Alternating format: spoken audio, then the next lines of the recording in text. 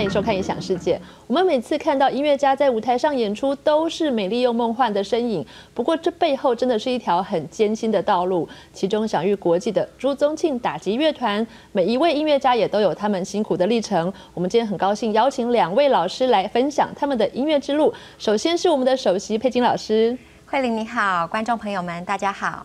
还有我们猪团的才子焕伟老师，主持人好，各位观众朋友大家好。老师，我们刚刚看到你一只手拿三个琴锤，两只手六只琴锤，这个其实是很难的技术，对不对？应该算是，就是台湾其实只有佩锦老师会会这样子的，不是也不是 这样，因为 应该说我台湾应该算是我最早开始，是。就是因为其实我们一开始演奏棒子是各拿一根，对，然后初级嘛，对，然后后来因为希望有和声啊或者更多的旋旋律变化，我们就会这样各加上一根，对，那当然这种各加上一根，它有各种不同的，比如说是这样，或者是这样，或者是这样。各种不同的握法，不同的握法，对对。那因为好了，那三根怎么办呢？是因为其实说真的，我的手很小。对，我们请焕伟老师来比较一下好不好？范伟老师的手，我们的手的大小是这样，对。然后如果叠在一起是这样。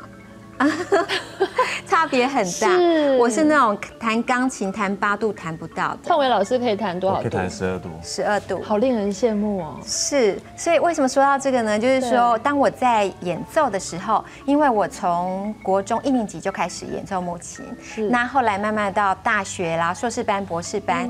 那当我在西维吉尼亚大学读博士班的时候，我已经好像对四根棒子可以产生的和声已经不满足了。所以我就想啊，那我就来试试看六根棒子。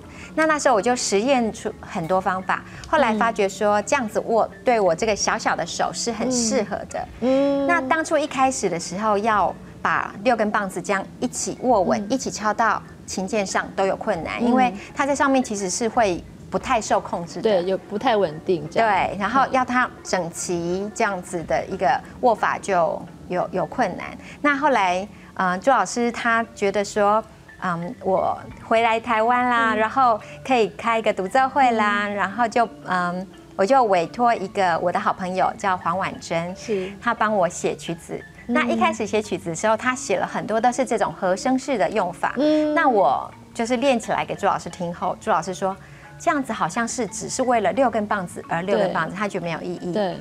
那我就跟婉珍说，他就重写，重写了一首呢，那个曲子变成长这样子，就是每一根都独立要运作，就是类似这样，一二三，一二三，朱老师好残忍哦，他真的就是要求的，就是他他觉得我们要做什么就要做到最好，是，所以我我这个也应该算是朱老师他给我很多的，因为朱老师他从我国中一年级就开始。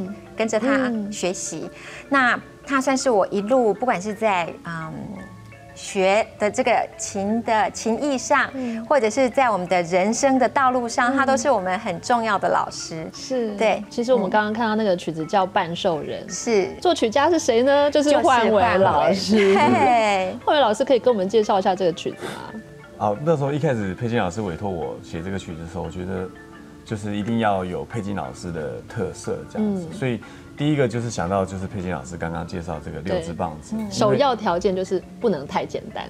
对，对，因为当作曲家的好处就是说不用自己演奏，所以我们可以尽情的写的很困难。是，对，然后就是当然第一个条件就是说哦，我一定要写六支棒子的曲子，然后第二个条件我觉得佩金老师他在这个对音乐上啊，或是说对这个打击乐的技巧上面。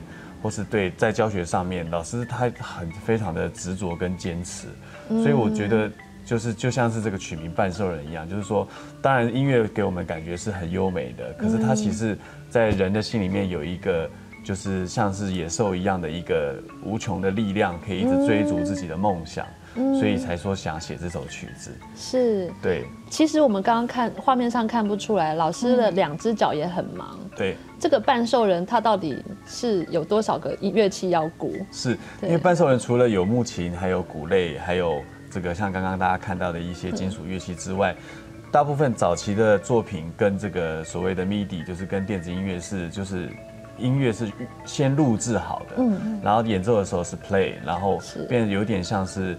我们在配合他，演奏者在配合他。对然后我希望在这首音乐里面的这个使用的这个 MIDI 的部分，也是由演奏者在及时的录音跟播放出来的。嗯所以老师除了手很忙以外呢，他的脚也很忙，因为他嗯就像是我们早期使用的这个语言学习机，有录音的 A 点跟 B 点，老师要控制的非常的精准。因为录错是没有办法重来的，它就是你录错的那个段落会一直一直 repeat 对，好可怕哦。对是要有零失误的这个要求，这样。所以你手上在演出的时候，脚上要顾的是那个 record 的那个按键嘛？对，对是在踩那个机器，哦。而且我演出其实都是穿高跟鞋，就是很高的，大概十公分的鞋子，就是在木琴上这样的演奏，我才可以很放松。那它这曲子呢，就是很具挑战性，嗯。因为它除了木琴以外，就是大家所看到的那么多各种乐器，它经常是要一起演奏。嗯。那脚上的控制那个录音装置以外，还有两个脚踏大鼓，嗯，所以非常非常的忙，而且就是整个在演奏上的精准是很不容易的。是然后在排练的时候就要加上麦克风，对还要呃收鼓，还有木琴等等各种嗯声音，那才可以一起 play 出来这样子。后伟老师那个时候写完这个曲子的时候，有试着回去自己演奏一下吗？呃，有试着演奏一下，当然速度可能是慢很多倍这样子。嗯对，就没办法。对，这其实是真的蛮困难。笑傲江湖曲谱只有他可以演奏得出就来。老师可以。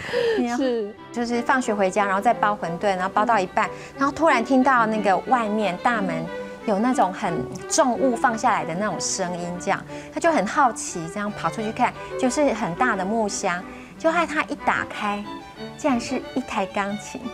你那时候眼泪要掉下来真的，我当下我眼眼泪就掉下来。